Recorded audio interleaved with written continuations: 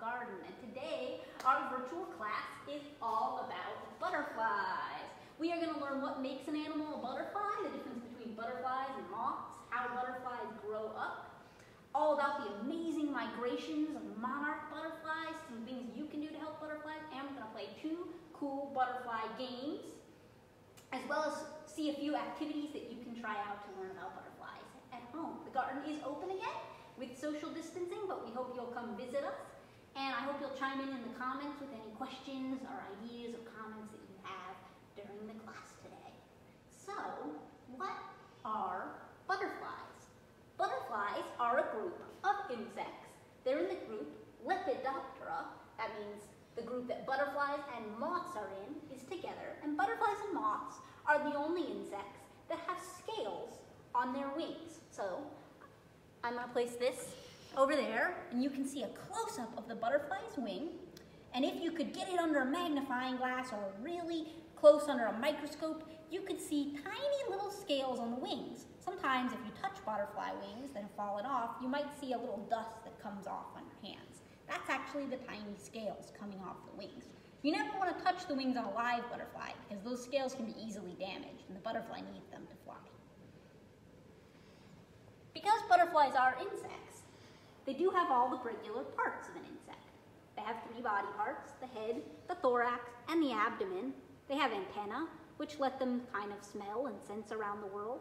They have two pairs of wings. These are actually separate. They have six legs. Spiders, you know, have eight legs. They're not an insect. If you watched our class about insects, you might have noticed that insects have different mouth parts. We actually acted some of those out. Well, the one that is butterflies and moths is called a proboscis. And it's kind of like a big curled up straw that they can uncurl and suck the nectar out of flowers. I also put a dragonfly up here so you can see the difference. Their wings don't have scales. They're more of a translucent look. There are actually 17,500 different species of butterflies in the world and 750 different species just in the US. So that's pretty amazing. Some of the different kinds of butterflies that you might be able to see in North Carolina include the eastern hair streaks, the viceroy, the red spotted purple, as well as a lot of skippers. One interesting thing to note is that there are different groups of butterflies. Skippers are very small and have a lot of the features of moths. They look furry. And their wings meet in sort of an L shape, with one going out to the side, like that one. When they're stopped, their wings are up together. Whereas, when most butterflies are stopped, you'll see them flatten their wings sometimes. Swallowtails are the group who have a long tail on the bottom, and they tend to be big and colorful. Some of the prettiest butterflies that we like to look at. You can print these two guides for free, Butterfly Guide and the Moth Guide next to it, from the North Carolina State Parks website for the year of the butterfly. They made one of the cool activities we're going to play later too. Butterflies are a little bit different than moths. Typically, moths, like this Luna moth, are active at night. They may have duller colors, but not always. And some butterflies can be active at night too, so that's not for sure. Moths can be fuzzier, but that's also not for sure. One of the biggest differences between them is that moth antennae look more feathery, whereas butterfly antennae look more like tiny little clubs. You can see that really well on the moth. Here's the moth model for comparison. You can see those big feathery antennae. If you want to see some moths at home, you can check out our book for 200 plus ways to explore nature, your home or backyard. And it has ideas for how you can actually lure moths uh, using a black light, using uh, moth bait that you can mix up in your own kitchen, and using lights. So that's pretty fun. I'll put that right there. So let's go on to our next question. How do butterflies grow up? Well, it's a really interesting story, and it's an incredible tale of transformation that inspires humans, actually, to think about how much we can change and the amazing ways that things can change. This is an egg. That's where butterflies start. They're often laid on leaves or pieces of grass. They're very, very tiny. This is a blown up picture, bigger than in real life. From that egg, the caterpillar hatches. Caterpillars need to eat a lot. They're growing very rapidly. They'll molt at least four times as they're growing up. One thing that sometimes confuses people is that they know insects have six legs, but caterpillars look like they have more than six. That's because caterpillars have true legs, and then they have some little pro legs, kind of like baby legs, that they have for a while, but they'll lose when they become a cat when they become a butterfly. Then butterflies go into their chrysalis, and this is a case in which they're going to transform. I have a couple of models of different chrysalises here. You can also see two real chrysalises that we found in the garden here. We get a lot of butterflies here in the garden. If you have a chance, you can come check out our pollinator stroll to see some butterflies for yourself. How butterflies transform within the chrysalis is really incredible. Their body actually has to digest a lot of itself, but some bits of the nervous system and muscles still, still remain. But if you were to poke a chrysalis, and you should never do this, but if you were to do it at just the right point in their cycle, a goo would actually come out, and that goo is full of proteins. And that's what the caterpillar's body is broken down into. And then, from that goo, it will reform itself into a beautiful flying butterfly. And you can actually see the picture of that butterfly emerging, well, transforming and then emerging from the chrysalis.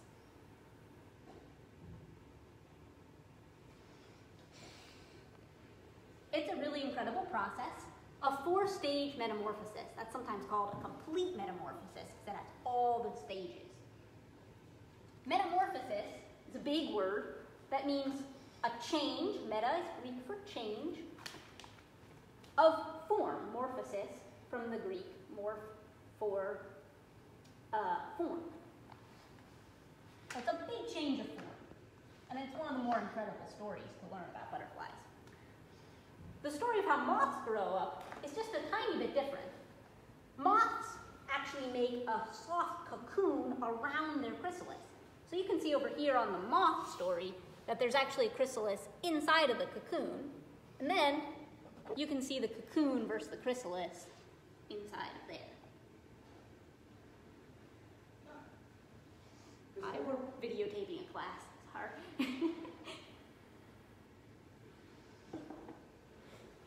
And this right here is a cocoon that we actually found in the garden here.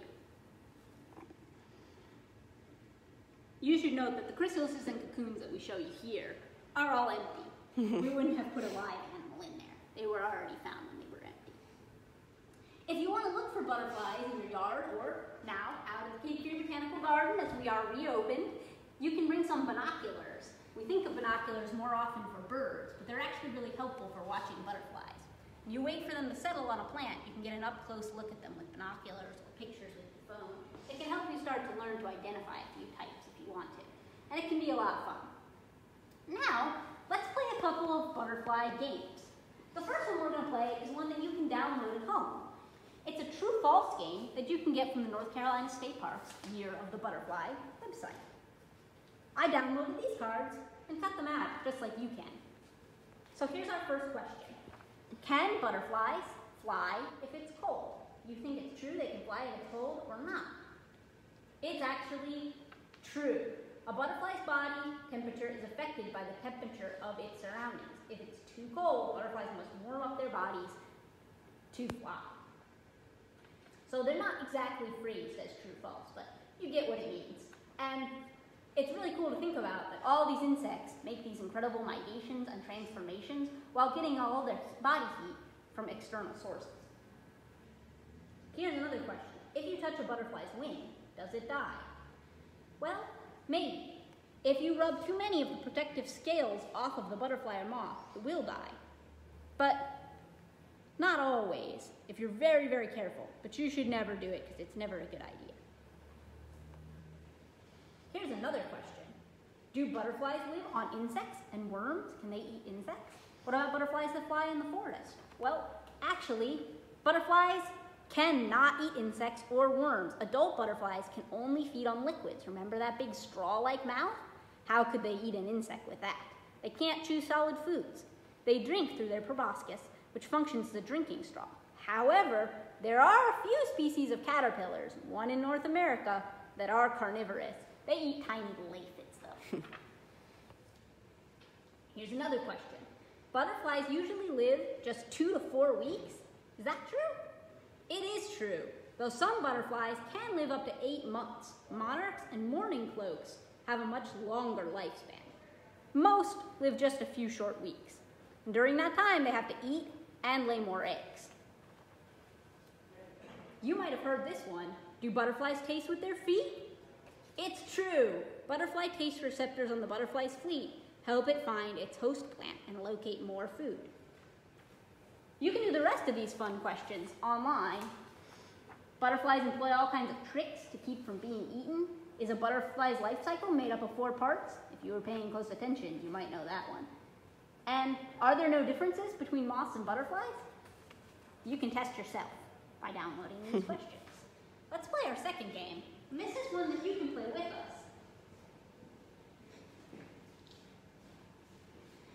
You'll want to look at these different cards and see if you can match the butterfly with the caterpillar. It's a bit tricky. You might know some. Some are really hard to guess. They make such a big transformation from when they're a caterpillar to when they're a butterfly. I'll give you a minute to try and think of some of the answers yourself.